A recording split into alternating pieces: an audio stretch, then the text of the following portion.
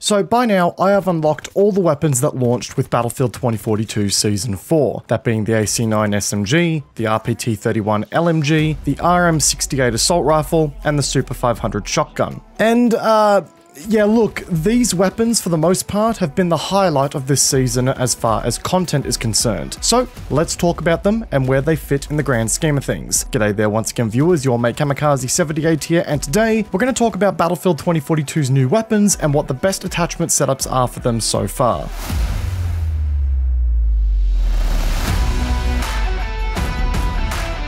So, for simplicity's sake, I figured we would cover these weapons in the order in which you unlock them in the Battle Pass. You know, get the information out in the order of how many people it's going to help at this moment in time. But if you are seeking information about a particular weapon here, I have timestamped that below for your convenience and it's all chaptered throughout this video. So, navigate the video as you see fit, or even come back later as you unlock the weapon for a refresher if you need to as well, whatever works for you. But alright, we'll start off here with the AC9 SMG, and um, yeah, let me tell you guys, guys, this little package of just straight up death and destruction is here to tell you that size does in fact not matter. This bullet vomit machine is absolutely devastating, rocking a rate of fire that clocks in at just 20 rounds per minute shy of 1100 rounds per minute. Now, if you're looking at that number and thinking it looks familiar and wondering why I worded it that way, well, that's because it should. 1100 rounds per minute is the fire rate of the K30 submachine gun. So we now have another super fast SMG that is truly built for aggression that is rivaled by few weapons in the game. So the K30 still beats out the AC9 in theory, right? Well, not quite. While the AC9 does miss out on beating the K30's fire rate by a mere 20 rounds per minute, it does come with a better damage per shot that amps this weapon up to a mere 5 shot kill, where the K30 sits at a 6 shot kill, which effectively gives the AC9 a slightly better magazine economy for scoring group kills, especially when you're rocking the extended close quarters ammo type. And all of that comes with what to me feels like a much controllable and manageable recoil pattern when compared against the K30 as well. Look, what I'm trying to say here guys is that this SMG has well and truly muscled its way into the limelight for just pure CQC dominance when compared against the last frontrunner, the K30. The AC9 is essentially a pre-nerf K30 as far as effectiveness is concerned, and that is wild stuff. The power creep here with this weapon is very, very real. And spoiler alert, it's a theme that we're going to see a fair bit throughout today's video. The AC9 is all about those close quarters distances and just performing some incredibly aggressive dentistry on a target's face. I will be honest, you won't hit the broadside of a tank beyond a 50 meter range without some of the most elegant trigger discipline you could ever see, but the weapon just isn't designed for that. If you choose to take this weapon, you're going to be getting nice and close to the bad guys and hanging around them all day like a bad smell.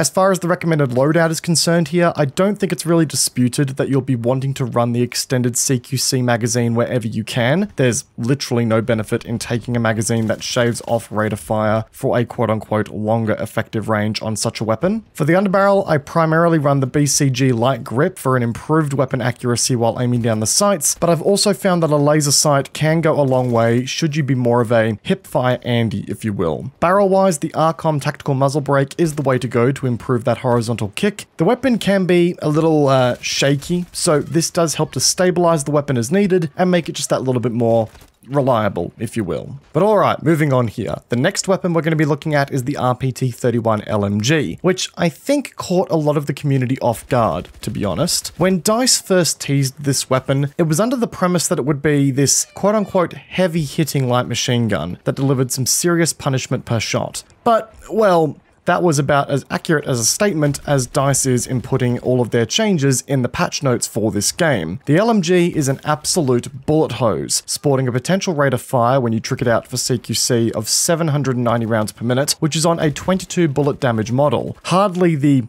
quote unquote heavy hitter that we all expected to see. But nonetheless, I can't deny that the weapon is a bloody beast, folks. While it doesn't crack the rate of fire record for the LMG category, it does come pretty close to it. It does beat out the LCMG completely in that regard, and I mean, look at the gameplay, it should speak for itself. Look at how minor that fucking recoil is. This thing is an absolute beamer of a weapon, which when combined with that 5 shot kill that it sports, I mean, come on now, how can you pass this thing up? Now, it does take some work to get to this point. The short barrel and the standard issue ammunition does go a long way to getting this weapon where it needs to be to sort of reach that quote unquote A game performance. But once you get there, I mean, again, just look at this farm, this industrial level of farm. There are players playing the Farming Simulator series that would be jealous of the kind of farm that I'm cracking right now. To be honest, it just feels like an M5A3 with a CQC build to me as far as the feeling of the weapon is concerned, just with a 200 round magazine on top of it. And given that it just seems to beat out the M5 in time to kill slightly against body shots based on some loose testing I've done, I think that's a fair comparison to draw. As you can see in the gameplay, if you just sort of want to find an angle and hold it and just let loose, you can just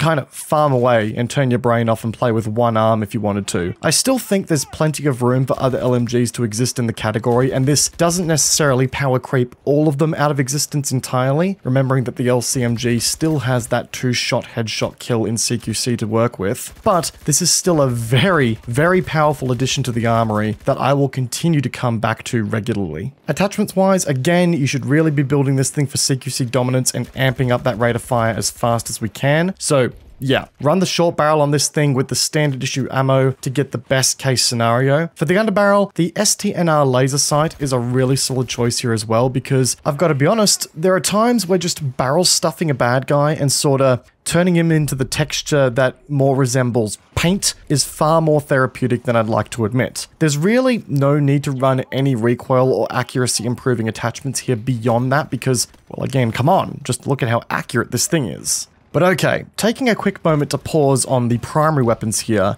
um, the Super 500 shotgun. Look, guys, the Super 500 shotgun can be fun, and it will one-shot someone if you hit them dead center, like completely bang on. But if you are just ever so slightly off target, or you overcorrect your aim in the heat of a firefight just that little bit too much, you can kiss that one shot kill goodbye completely. With only three rounds in the chamber to work with and a lengthy reload time to boot, it can feel a little bit limiting of a weapon in Battlefield 2042's larger lobby sizes. Truth be told, while this thing does have some novelty to it, and it isn't exactly what I would call useless, there's a good chance I'll just be sticking by the Glock for the time being. But then again, we all knew the Glock was going to remain the king unless this thing was well and truly overpowered, because the Glock in itself is arguably a touch overpowered. As far as the build is concerned, there's practically no customization here besides your optic and the ammo slot. Legit, just add an optic and call it a day if you want to run this thing. The basic buckshot is all you are going to need here. But alright, alright. Much like DICE and where they placed this thing in the Battle Pass, we have well and truly saved the best for last. We are now at the crown jewels, if you will, the RM68. Allow me to give this weapon the introduction it deserves by bringing your attention to a weapon that we're all familiar with the SCAR. And I'm sure we're all familiar with it because, well, it's been regarded one of the best assault rifles in the game for a long time, you know? With its heavy hitting rounds and drum magazine to boot. Well, what if I told you that the RM68 shares the exact same close quarters damage profile as the SCAR and that it fires 80 rounds per minute faster? Because yeah, it, it does that. And let me tell you folks, the resulting carnage that this assault rifle can perform is nothing short of soul crushing if you're on the receiving end of it with a good player behind the trigger. There's just no denying it, as this weapon is currently balanced, it completely power creeps the SCAR out of the rotation of just being worth picking up. If you're looking for a higher damage assault rifle, this is now your weapon of choice. Hands down, no contention, unless you want to snipe people with the AC-42. Now sure, the largest magazine size you can get on this thing is 30 rounds against the SCAR's 40, but that rate of fire buff well and truly makes it worth it. But surely, for such a boost in damage output, the recoil or accuracy must be severely affected, right? No, this is Battlefield 2042, ladies and gentlemen, a game that is laser beam central, and the RM68 very much got that memo. In fact, this thing almost feels more accurate from both a recoil and cone of fire perspective than the SCAR at times. If all chat was a thing in this game yet, I'm sure I would have been on the receiving end of some serious rage messages after just locking on to enemy dudes with this no recoil monster. So yeah, the gun is worth the grind right now, guys, at least at this given point in time. I can only imagine that this thing will be balanced in due time, but right now, it is the epitome of power creep in the game and has completely nullified the Scar from existing in the first place. Like the RPT-31, it's going to feel a little under the weather until you unlock some attachments for it, but once you get there, you'll be singing this weapon's praises like nobody's business. Speaking of which, the optimal build here is definitely going to consist of that short barrel and the CQC ammunition here to get that rate of fire up to where you want it to be. As an added bonus as well, the short barrel also comes with that integrated suppressor,